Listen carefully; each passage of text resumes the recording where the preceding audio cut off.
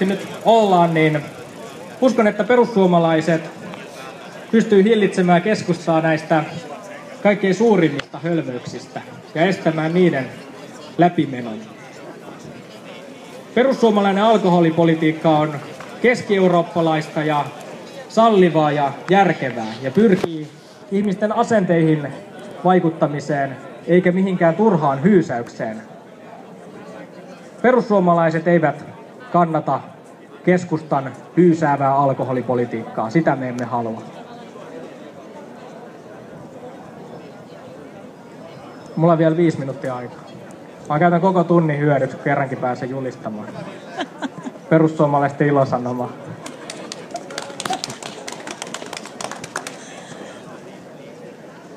Eräs maahanmuuton ongelma on ääri-islamististen liikkeiden kasvu ja terrorismin uhka.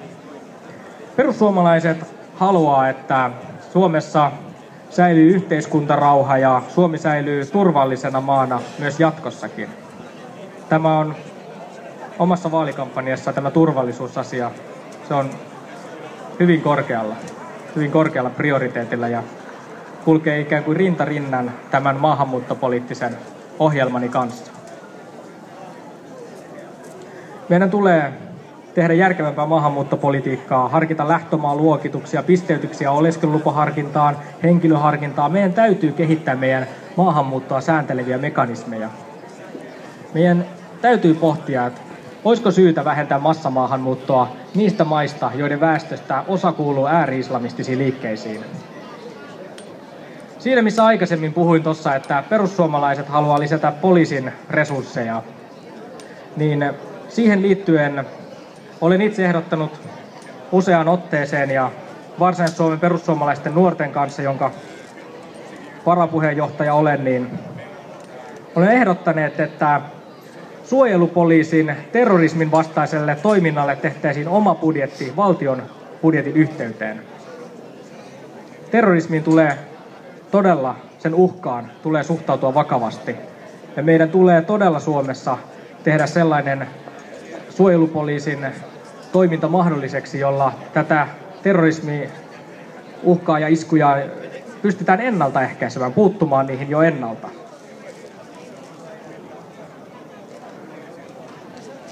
Nyt mulla on enää pari minuuttia aikaa, niin otan täältä vielä jonkun hyvän pointin.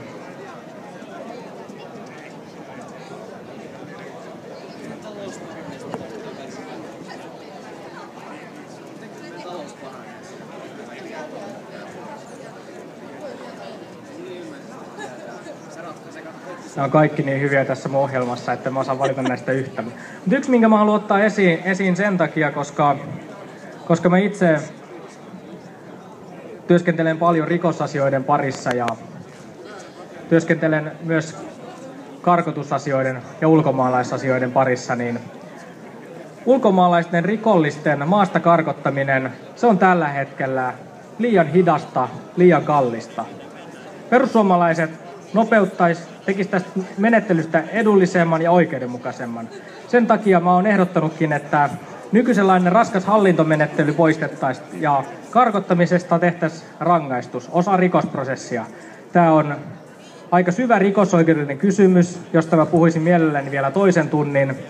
Mutta tiivistettynä nykyään, nykyään menetellään siis niin, että poliisi suorittaa esitutkinnan rikoksesta. Sen jälkeen käräjä, tai syyttäjä tekee syyteharkinnan. Sen jälkeen käräjäoikeus antaa tuomio. Tuomiosta valitetaan, sitten odotetaan 6 kuukautta, 9 kuukautta, mennään hovioikeuteen. Hovioikeus antaa tuomio. Sitten valitetaan korkeimpaan oikeuteen. Menee 6 kuukautta, 9 kuukautta, vuosi. Sitten korkein oikeus antaa päätöksen. Sitten mennään vankilaan, kärsitään vankilarangaistus, joka yleensä ensikertalaisena Suomessa kärsitään vain puolet. Eli noin vuoden vankilarangaistus vakavasta rikoksesta. Tähän perussuomalaiset myös puuttuu, se on toinen asia.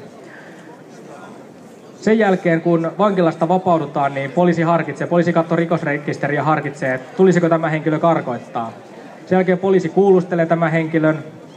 Sen jälkeen poliisi lähettää tämän kuulustelun raportin ja karkottamisesityksen maahanmuuttovirastolle. Sen jälkeen maahanmuuttoviraston työryhmä pohtii asiaa, että tulisiko tämä henkilö karkottaa, onko tämä rikos sellainen, että tästä tulisi karkottaa. Sen jälkeen tuolla tehdään karkottamispäätös. Sen jälkeen henkilö valittaa hallinto-oikeuteen, odotetaan 6 kuukautta vuosi. Sen jälkeen korkeimpaan hallinto-oikeuteen odotetaan 6 kuukautta vuosi.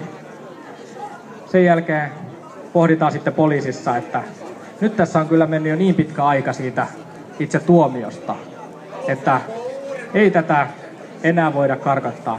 Ja minä ehdotankin, minun ratkaisuni, perussuomalainen ratkaisu, annetaan käräjäoikeuksien määrätä karkottaminen. Samalla kun käräjäoikeus harkitsee, että nyt te oot tuomittu, että sut syyksi luetaan varsin todennäköisiä syyn epäiltynä tai tuomitaan tästä rikoksesta, niin samalla käräjätuomari päättää, että nyt karkotetaan. Sen jälkeen solmitaan valtiosopimus. Jos perussuomalaiset on hallituksessa, niin mielelläni me itse sitä valtiosopimusta solmimaan. Solmitaan Viron valtiosopimus ja lähetetään virolaiset vangit Viroon.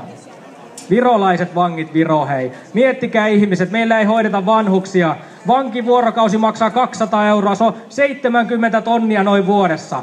Kyllä virolaiset, venäläiset vangit, kyllä ne pitäisi saada Viroja Venäjän vankiloihin. Tämä on ihan järjetöntä julkisektorin tuhlailua. Se ei vaadi uutta oikeusastetta, vaan käräjäoikeus hoitaa tämän. Käräjäoikeus hoitaa, hallinto-oikeus hoitaa ohjelmat, rikollisten maasta karkottamisen hoitaisi käräjäoikeus. Tämä pienentäisi, tämä toisi valtavia säästöjä.